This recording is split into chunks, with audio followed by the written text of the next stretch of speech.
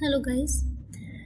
So we are talking about the collaboration diagram and uh, we know the use of collaboration diagram when we use it right and how we can use it.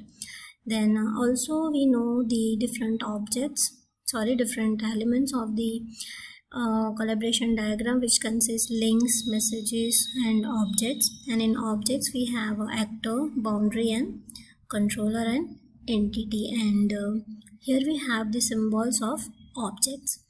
Now one thing uh, we will keep in mind that uh, of course it is uh, similar to the sequence diagram. It is like a sequence diagram. But the unlike thing is you are free to place the participants right? So you can place it anywhere. So you are not uh, bound to put it at some particular place. And the bird's eye view means from the top view you can see that how all the participants are communicating with each other right? And when we say that a participants participants means what? Participants means your objects like how user interacts with the GUI how GUI go to the database and how the my logic works right? This controller is nothing but your logic part. So if for functions everything in controller we can consider all your logic right? So today in this part we will talk about the example. So here we have one example. Okay uh,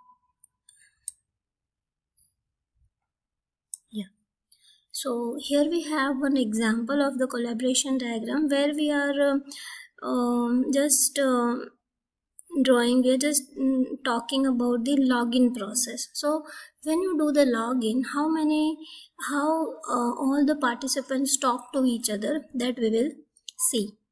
So first we have actor and this actor is nothing but my customer. This customer this customer first first interact interact with the login screen right? So see this login screen and the customer both are connected with each other and we know that to show the connection or the link we'd use the solid line. And login screen is my GUI and for that we have this symbol right okay we will talk about the messages later. Right now just focus on how you can place all the participants. When you uh, when you interact with the login screen login screen that login screen is actually your interface but behind it you have your code right? Your controller your controller your logic where you have placed all the your logic your code.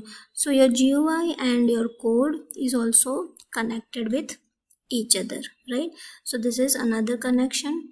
Now your logic your code is connected with the database the table right? And for the table or the for the database we use the entity word and for that symbol is circle with the line right? So the name of the table is let's say users is the name of my table right? This is the login screen. And let's say this is the security manager. This is the class name in my code right? So this is how you can place all your participants like customer customer talk to login screen login screen talk to security manager that is my class my code. And um, this code talk uh, talks to the use uh, database right? So after this um, okay. So after this let's talk about the messages. We know to display the message we use the arrow line right? We use the arrow line along with the numbers. We know that numberings are must right? So how to do that? When when i say customer talks to the login screen so for that we it, it is saying that message. Which message? Customer wants to login right?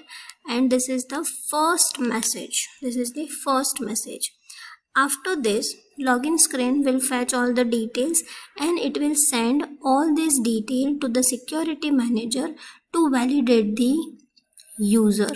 And for that this is the my second message right? So the security manager the security manager will validate all the will check will take take all the details and it will try to retrieve the user details from the database right? Whatever the customer has entered. So retrieve user details from the database. So this message will go to the entity or the table. This table will reap as a reply. This table will give the reply. This is my this is the third message.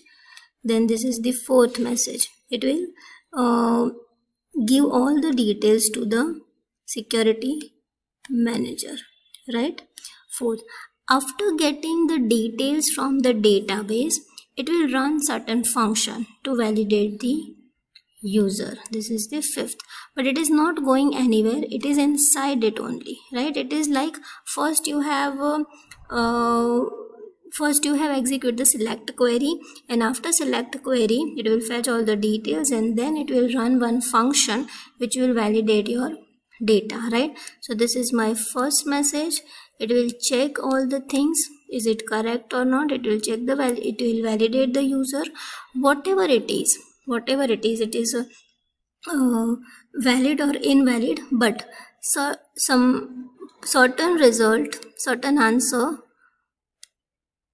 will be given to the login customer through the login screen. Through the login screen. And on login screen uh, the customer can view it right? Means login screen is not returning anything to the to the customer. Or if you want to write you can write like 7 view or message. You if you want to write you can. Or like some message like uh, failed or a pass validation is passed or failed anything.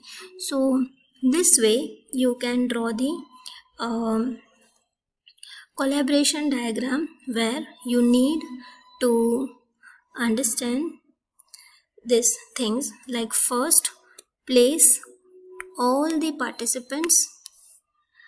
After that draw their links. After that start with your first message then go in the sequence. 3 4 5 6 right? Also you can uh, expand it more.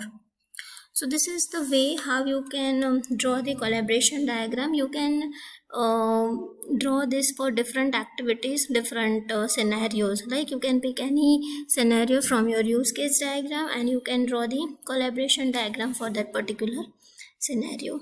So that's it for collaboration diagram. So just try to draw it for uh, maximum cases. That's it. Okay